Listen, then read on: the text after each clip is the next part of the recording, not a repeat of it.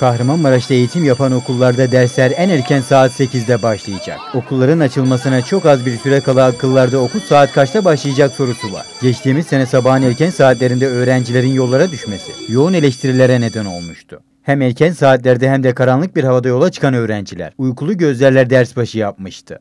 Bu kapsamda İl Eğitim Müdürü Mehmet Emin Akkurt, 2017-2018 eğitim öğretim yılında elimizde normal eğitim yapan okullarda eğitim öğretimin en erken sabah saat 8'de başlaması kararı alınmıştır dedi.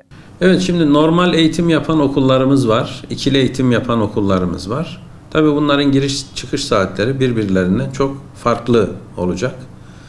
Normal eğitim yapan okullar için söylüyorum.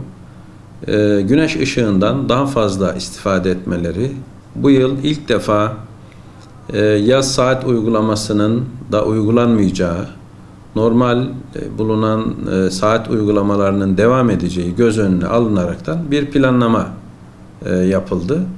Biz öğrencilerimizin güneş ışığından en uygun şekilde istifade etmesi için normal eğitim yapan okullarda saat 8'de eğitim öğretim faaliyetlerimize başlayacağız.